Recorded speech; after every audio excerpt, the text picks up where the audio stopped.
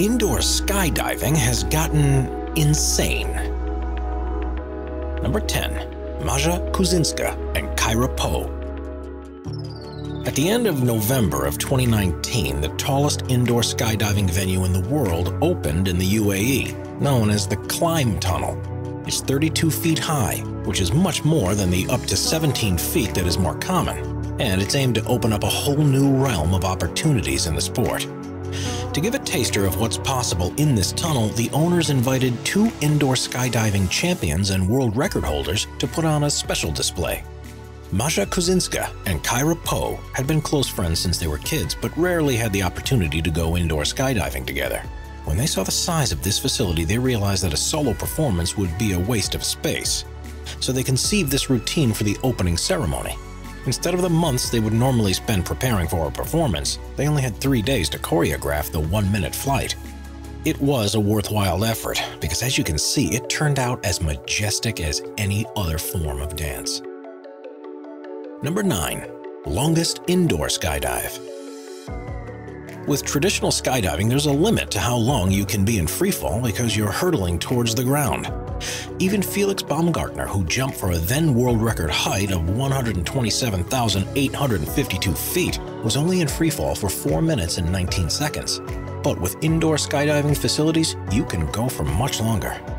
The current world record set for the longest indoor freefall skydive was set by two Russians in 2018.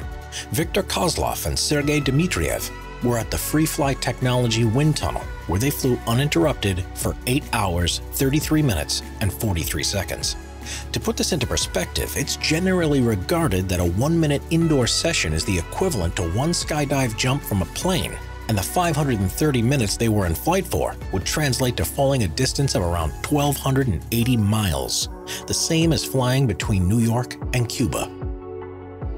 Number 8 the most indoor skydivers at once. Most indoor skydiving venues are designed for one or two people to be in them at once. This allows experienced flyers to go on tandem jumps together, or for an instructor to be in there with a novice.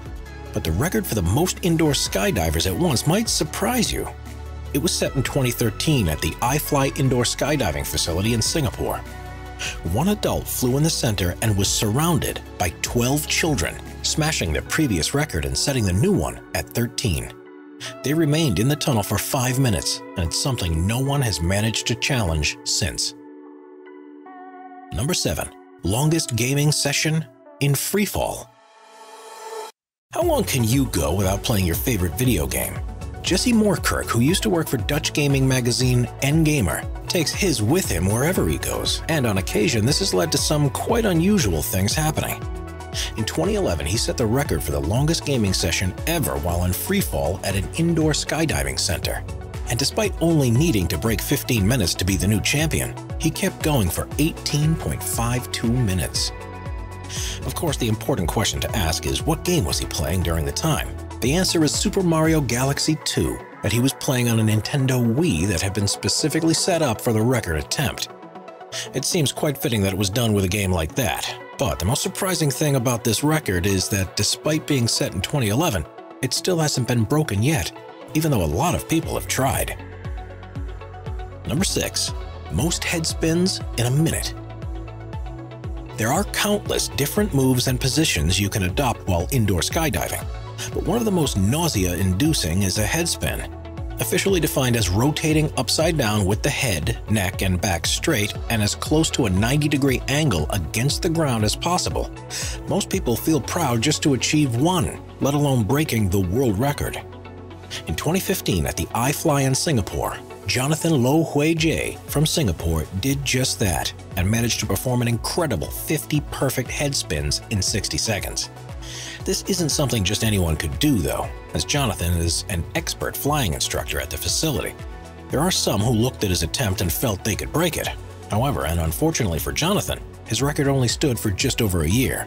In 2016, Kermet Yadla from Estonia was at iFly Down Under in Sydney, Australia, and managed to perform 54 head spins in 60 seconds.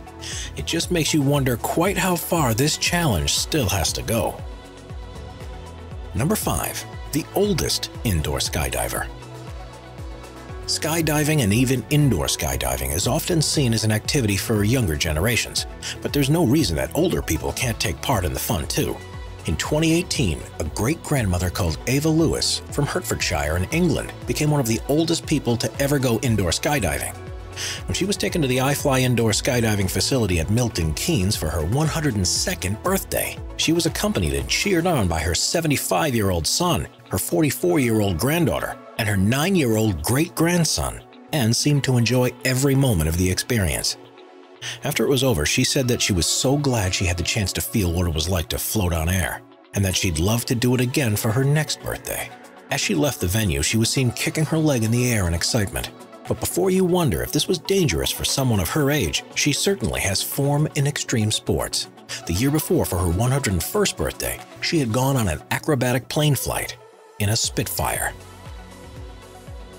Before we move on, be sure to subscribe to Top Fives with notifications on. Number 4. Indoor Wingsuits When you think of an indoor skydiving tunnel, you tend to imagine a vertical tube with fans beneath the ground but there's now a new trend of building them at an angle. While this isn't useful for simulating a skydive, it opens up a new realm of possibility for people with wingsuits. The first facility like this was opened in Stockholm, Sweden in 2017, and there was a serious need for a place like this. Unlike skydiving, wingsuiting is extremely risky and is, by all accounts, the most dangerous sport in the world. Even experienced flyers have made mistakes with fatal consequences, so a venue that offered people the chance to practice and perfect their skills before doing it for real is a major help. It also makes the sport accessible to those who have no intention of ever jumping from a plane while only wearing a wingsuit, and gives you more of a sense of flying than skydiving ever could. Number 3. Most magic tricks in 3 minutes of all the amazing and complicated things you could think of doing in an indoor skydiving tunnel, card magic probably isn't the top of the list. But that was just one of the tricks performed by Martin Rees while he set the record for the most magic tricks to be performed while indoor skydiving in three minutes. He was equipped with his deck of cards, a handkerchief, and even a biscuit, and in total managed to complete eight tricks before the time was up. Unusually for a record-breaking attempt, he was not only overseen by representatives from Guinness World Records, but also by experts from the Magic Circle who ensured that his tricks actually worked as they were meant to. This wasn't just an attempt to show how great he is at magic, though, as the event was also raising funds for charitable causes. On this occasion, he raised more than $1,000, and just a few weeks later, he took what he had learned and repeated it again, but this time on an actual skydive. Number 2 youngest indoor skydiving champion. Indoor skydiving doesn't have an age limit to it, so as long as the person going into the tunnel is able to understand the safety briefings. But the record for the youngest medalist in an indoor skydiving championship is insane. Zhao Yiming won a bronze medal at the China Open 2018 in the Chongqing municipality and at the first Asiana Indoor Skydiving Championship despite being just six years old. He had only eight months of experience in the sport, but after intense training was able to move and position himself like he had been doing it for much longer. In an interview afterwards, he said that the game was very interesting and that it made him feel like he was Superman. Number 1.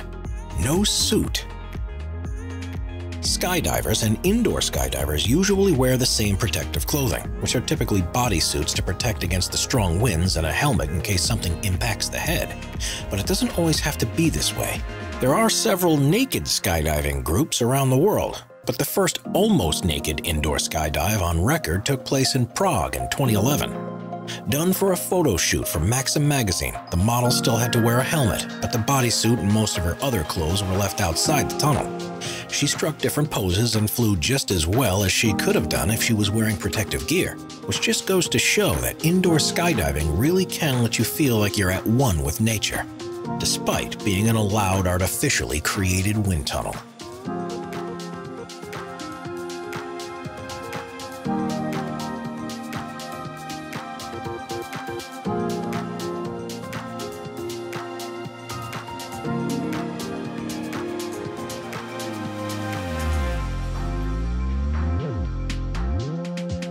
Subscribe to Top Fives for more and check out some of our other popular videos.